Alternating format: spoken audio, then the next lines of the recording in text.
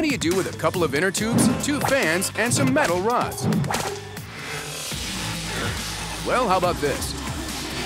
It's the Kangaroo, the ultimate off-road vehicle. No, no terrain is too tough, including water. I think the Russian guy with the crazy two-wheel vehicle is a genius. So we went to St. Petersburg, Russia, for a chat with inventor Igor Kozrenko to find out why he calls his hack the Kangaroo. Э, на- Название кенгуру получило то, что э, очень похоже на движение, которое делает именно австралийское кенгуру, то бишь животное. То есть для э, толчка, то есть первого толчка, ему нужен хвост, он на него опирается. То есть точка опоры. И здесь получается то же самое. Well, that explains how it balances, but how do you steer this awesome hack?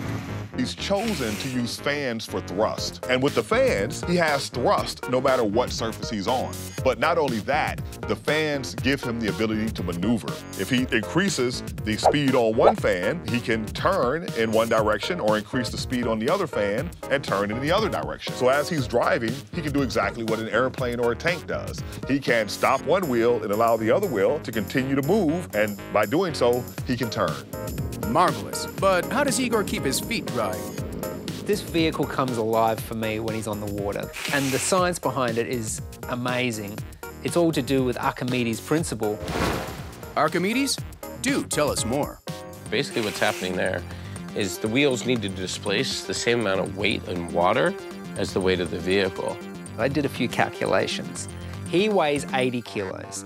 His vehicle weighs 40 kilos. Together, that's 120 kilos. And what's that in water? 120 litres. So each tyre displaces 60 litres. That's like the volume of a rucksack. And that's nothing. It's just such a simple idea. A simple idea that shows good hacking is science and art. Это истинное творчество, когда не думаешь о будущем заработке, что ли, о том, что это когда-то будет продаваться. Сначала это просто любопытство.